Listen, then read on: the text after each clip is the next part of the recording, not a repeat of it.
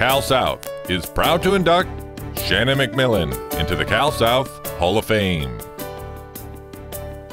Mac ended up going to the University of Portland. While she was there, she had a great career and ended up winning the Hermann Trophy Award.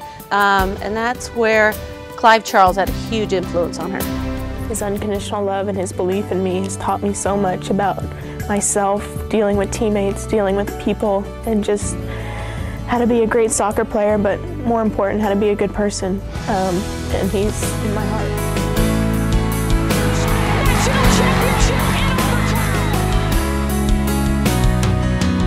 She's very athletic. She gets to everything, and she's very intense. And you know, I think she intimidates a lot of people. You know, she is definitely the ultimate player that you want on your team. In a space, look at this ball from MacMillan. The shot, he scores!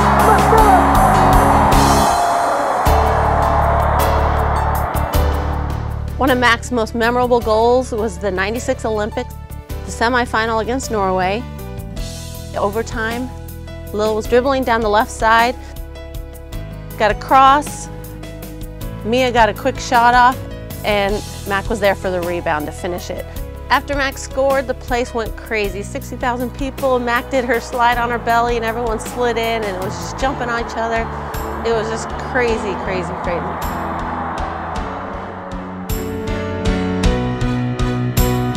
Player through now back Arkenberg. Running and playing it up left side. Here's MacMillan. She's in. She shoots. She scores! Shannon MacMillan for the first goal in San Diego Spirit history, and she celebrates with the fans and her teammates here at Torero Stadium. She's the one that can play at, at a speed that is a, a different level, and uh, you know she can bend it in with both feet. She can drive it in. She can find a seam that you know most people wouldn't see. Uh, it takes a while to adjust to that. One of my favorite World Cup moments was the 99 World Cup in the quarterfinal. Mac had just come in, she was going to take a corner kick, and I knew she was going to hit that ball. She drives the ball so hard near post, knew it was coming at my head. She's so accurate and just can nail that ball, and for her to hit it right at my head, it was just, we scored a goal together, and that was one of my most memorable moments. Got us into the semifinals.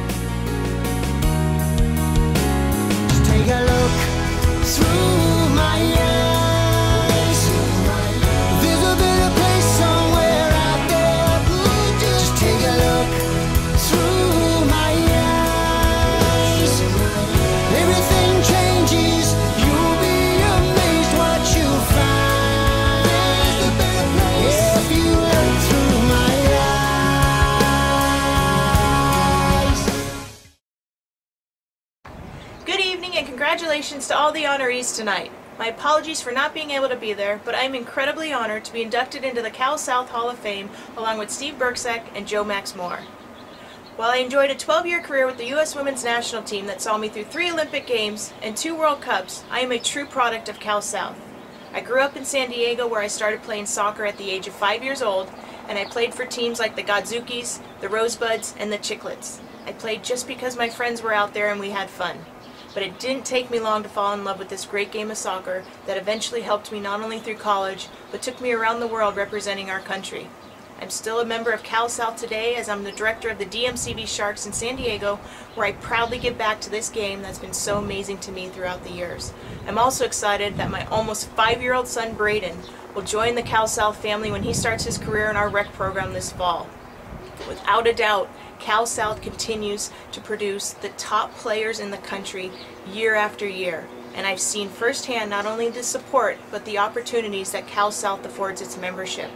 I would like to extend a special congratulations to our U17 elite team who are there tonight in honor of their national championship from last summer, as well as their coach, Felicia Kappas, who's being honored by Cal South as the Competitive Coach of the Year. The best part about this team goes way beyond how talented these girls are on the field. This is a phenomenal group of young women, and I have no doubt that they're going to go on to be successful in life with whatever they put their heart and souls into off the field. I would also like to extend a special congratulation to Erin Masaki, who's also being honored by Cal South tonight as director of our recreational program. Erin is a dear friend of mine, and I've seen firsthand touched the lives of over 2,000 families through her hard work with our top soccer and recreational program. So congratulations, Sharks, and congratulations to everybody out there again. My apologies for not being there, but to all you youngsters, dream big, believe in yourselves, work hard, and enjoy your journey. Congratulations and have a great evening. Thank you.